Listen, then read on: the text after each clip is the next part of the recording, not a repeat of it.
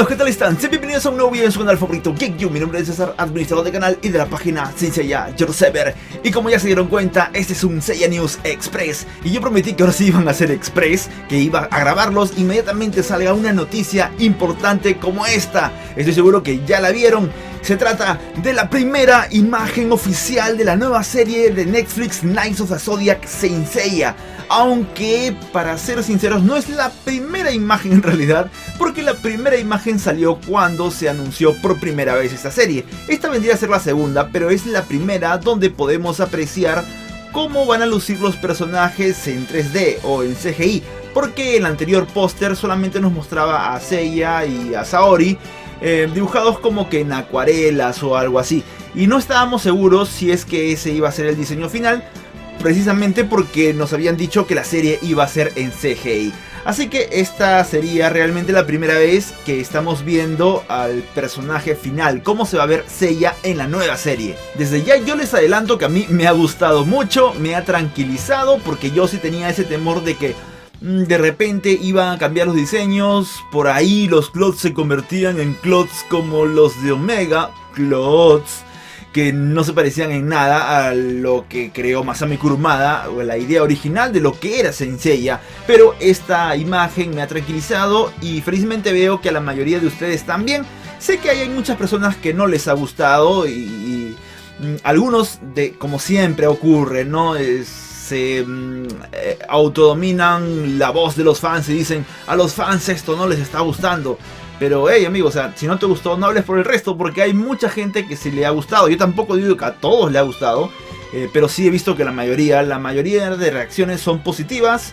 Eh, de hecho, hay comentarios graciosos que dicen, pero que esto lo está haciendo Netflix, pero Seiya no, no es negro, o no es rubio, o no es un Seiya que ha salido de la universidad, o algo así, haciendo las bromas, ya saben, con lo que pasó con Dragon Ball. Pero esta imagen es bastante tranquilizadora a mi parecer. Seiya está perfectamente reconocible, usa un clot, tiene los colores, la constelación de Pegaso está atrás, el meteoro de Pegaso, todo es muy reconocible, estamos viendo a Seiya. Y bueno, esta imagen fue liberada oficialmente por Netflix en todas sus redes sociales, en todos los idiomas de hecho, porque este póster que les estoy mostrando está con el título en español, dice Los Caballeros del Zodiaco Saint Seiya. Pero también tenemos por ejemplo el póster en japonés que lleva el título en inglés de Knights of the Zodiac Saint Seiya. Ese es el título internacional, por así decirlo, el título principal. Nosotros lo vamos a ver como Los Caballeros del Zodiaco Saint Seiya. Este título hasta ahora lo habían mencionado como un título provisional, pero ahora al parecer ha quedado como el título oficial.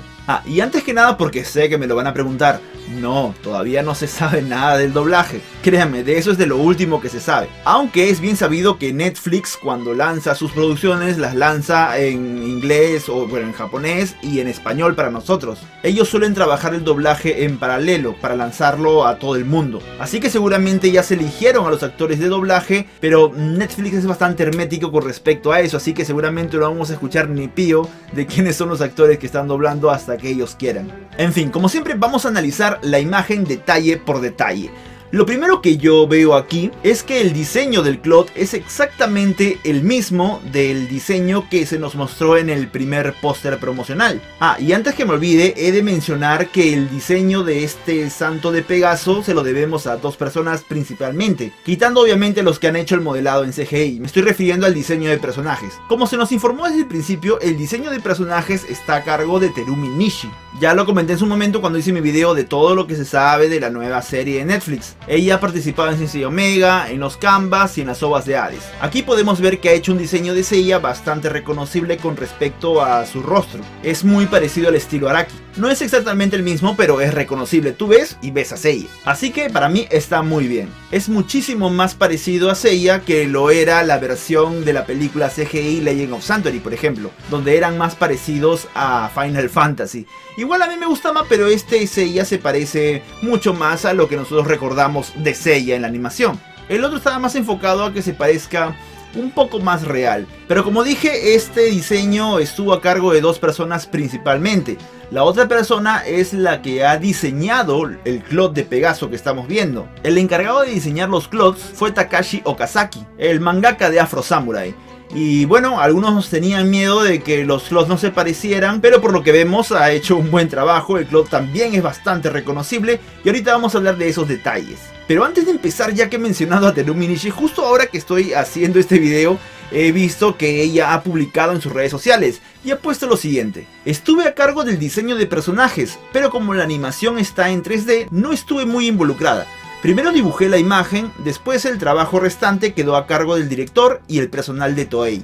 Como no participé en la parte principal de la producción, quiero disfrutarla como espectadora y fan. Con esto nos está diciendo que, o sea, ella obviamente ha hecho el diseño de personajes, eh, o sea, ha hecho los set pero ella no ha participado en la animación. Así que todo lo que va a aparecer en la serie para ella va a ser sorpresa. Como si no conociera mucho de la trama en realidad. He visto por ahí algunos comentarios que dicen que parece que ella se está lavando las manos porque ya sabe cómo va a quedar. Pero no, yo he hablado con ella y está muy entusiasmada con el proyecto. Ella realmente no sabe mucho de la trama en general. Así que como ella está diciendo, está esperando a verlo como si fuera una fan. A eso se refiere nada más. No está lavándose las manos, no sean mal pensados. Ahora sí vamos a analizar la imagen. En primer lugar, mi primera impresión es que parece que es una mezcla del Seiya de Legend of Santory, a pesar que dije que se parece más a la animación, con una mezcla de las versiones B2 y B3 del Cloud de Pegaso. Me refiero a las versiones B2 y B3 del anime porque en el manga hay más versiones, pero las versiones B2 y B3 del anime son prácticamente iguales a su equivalente del manga, así que bueno, como estamos hablando de animación, hablaremos de los diseños del anime. Así que este Cloud parece una mezcla del Cloud CGI de Legend of Santory y de los Clouds B2 y B3 del anime. Y ahora les digo por qué. Vamos a empezar con la ropa, lo que está debajo del Cloud. Esas líneas y esa textura me recuerdan mucho a la ropa que utilizaban los santos en Legend of Santory. Aunque verdaderamente esa ropa me recuerda un poco más a la de Ayoros que a la de Seiya en cuanto a diseño. No sé qué les parece a ustedes.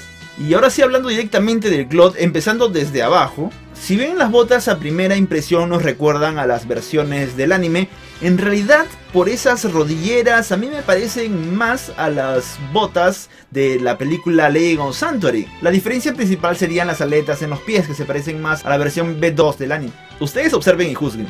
Subiendo un poco más vemos que no está utilizando musleras como la versión B2 del anime. Así como el cinturón, el cinturón es prácticamente un calco a la versión B2 del anime también. Subiendo hacia la pechera, esa sí es diferente, aunque por la disposición de las piezas me recuerda más a la versión de Legend of Santory. Salvo que hay un dato muy curioso, y es que parece que en el pecho trae el adorno de la tiara de la versión B2 del anime. Es muy curioso ese detalle. En cuanto a las sombreras, me parecen de la versión B3 del anime, aunque hay que recordar que gracias a la primera imagen publicitaria nosotros sabemos que este Seiya va a tener una especie de aletas que nos recuerdan un poco a como también las tenía la versión B2. No son exactamente las mismas, las de la versión B2 son más cuadradas, estas parecen ser más aletas, pero supongo que más se aproxima a esa versión. Y por último, la tiara del casco parece que no tiene las alas de Pegaso a los costados, eso me pareció raro, solamente parece que trae el adorno.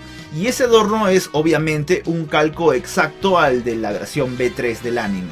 Ah, y los brazos no se pueden ver bien por la posición de ataque, pero sus puños parecen recoger un poco la idea también de la versión de la película CGI Legend of Santory, sobre todo por los nudillos.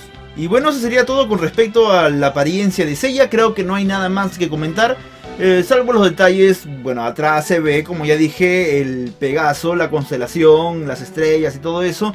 Y parece que los efectos especiales del ataque también se ven muy bien, del Pegasus Ryusei Ken. Pero obviamente falta verlo en movimiento. He visto que muchos han puesto, ay, esa animación está pedorra, pero ¿cuál animación? No estamos viendo animación, estamos viendo recién el diseño de personajes. De verdad que a veces ya no sé qué decirle a algunas personas que comentan. Otros, de hecho, también han comentado, en vez de hacer la animación de los canvas, hacen esto. Mm, de verdad que no sé ya cómo decirles que ni Toei Animation ni Netflix tienen nada que ver con la animación de los canvas. Pero bueno. En cuanto a la información, el póster nos revela que la serie va a salir a mediados del 2019. Así que ya tenemos por fin un aproximado oficial de cuándo va a salir. Ahí en el póster dice una serie de anime original de Netflix. Siempre dicen que es una serie original de Netflix. Y bueno, es verdad, pero no es solamente de Netflix. Como se puede ver abajo, ahí también está el crédito de Toei Animation. Y bueno, del de Masami Kurumada que nunca puede faltar. Eh, por cierto, creo que no lo dije, pero el logo sí me parece adecuado. Es un logo bastante moderno. De hecho, me recuerda mucho al logo que va a utilizar aparentemente la película live action que hace poco sabemos que se va a llamar igual que la serie no sé, se va a prestar a confusión. No sé si lo van a cambiar el de live action porque todavía ni siquiera se ha empezado a grabar la película, entonces todavía tienen tiempo. Yo creo que este título de la serie Netflix va a quedar así. Yo no sé si van a ser iguales los títulos o no, pero ya lo veremos. De momento el logo me parece adecuado, ahí se ve a Nike, al cetro de Atena, entre Saint Seiya. Así que me gusta. Y eso sería aparentemente toda la información sin embargo, en la cuenta de Twitter de Toei Animation Japón nos han dado unos detalles muy interesantes. Voy a leer exactamente lo que han puesto. Saint Seiya, que continúa siendo amado en el mundo entero, aparece en CGI en Netflix. La animación será desde el arco del Galaxian Wars hasta el arco de los Santos de Plata del manga original. Esto es un detalle que ya nos habían comentado desde el principio pero es bueno que ahora se recalque, así que parece que de verdad va a ser así. Va a ir desde el Galaxian Wars, o sea, el torneo galáctico, hasta el arco de los Santos de Plata. Me imagino que por como lo dicen, eh, no va a ser que justo va a terminar cuando empieza el arco de los Santos de Plata, no. Me parece que va a abarcar el arco de los Santos de Plata. Y dice del manga original, nuevamente. Así que parece ser que van a tratar de adaptar solamente el manga y no el anime. Y tiene sentido porque imagino que la serie no va a ser muy larga y adaptar todo el anime con todo el relleno y los cambios mm, sería mucho más complejo que hacer la versión del manga. Y es interesante porque hasta ahora no tenemos un anime que haya respetado el manga original por completo. Esperemos que esta vez lo hagan. Ya hemos comentado que seguramente le van a poner su toque americanizado por los guionistas que hemos visto, pero esperemos que al menos la trama principal sí sea respetada, la trama del manga. Al menos tranquiliza que nos digan que sí va a haber torneo galáctico y que va a haber el arco de los santos de plata. No sé si va a estar el arco de los santos negros, pero ya veremos. Y el tweet de Netflix Japón continúa, dice, Saint Seiya Knights of the Zodiac comenzará su distribución exclusiva en verano del 2019. Esperen las próximas noticias. Verano del 2019 en Japón va desde mediados de junio a mediados de septiembre, así que ya saben, la aproximación de la fecha. Y por cierto hay que recordar que el guionista principal es Eugene Song, que también está participando en el guion de la película live action de Seiya, y el director es Yoshiharu Ashino, quien por cierto nos ha comentado también algo a través de su Facebook oficial, y lo voy a comentar aquí como lo último que les voy a decir ahora. Y nos dice esto, ¿Qué tal la primera imagen CGI de Saint? Espero que a todos les guste. Vamos a lanzar el trailer en cierto lugar en unas semanas. Por favor, estar atentos. Ya lo saben, con esas palabras voy a terminar el video. Estar atentos porque próximamente vamos a tener el trailer. Yo no puedo decirles exactamente cuándo va a ser ni dónde se va a lanzar, tengo ahí la lengua amarrada, pero ya ven, como les dije, en noviembre íbamos a tener un previo, un pequeño vistazo de esta nueva serie Nice of the Zodiac Saint. Y nada, este ha sido el video express del día de hoy, ahora sí ha sido de express porque lo empecé a hacer apenas puse la imagen en mi página de Sensei Your Ya sabes, como siempre te digo, para estar enterado al momento de todas estas noticias, darle me gusta a mi página de Facebook Sensei Your Server. También tienes que seguirme en Twitter, porque también lo pongo ahí. También en Instagram, porque también lo pongo ahí, etcétera, etcétera. Yo estoy muy contento con esta imagen. Déjame todas tus opiniones en la caja de comentarios. Ya sabes, si el video te gustó, por favor regálame un like y compártelo para que llegue a más fanáticos. Suscríbete al canal y si ya lo hiciste, no te olvides de activar la campanita para que te lleguen las notificaciones de mis nuevos videos. Y como la campanita está fallando, no te olvides de seguirme también en mis redes sociales porque ahí también pongo el aviso de los nuevos videos. Y si quieres ayudarme a hacer más y mejores videos de calidad, puedes hacerlo a través de mi página de Patreon. El link está en la descripción. Nos vemos en el próximo video. Dax Vidania.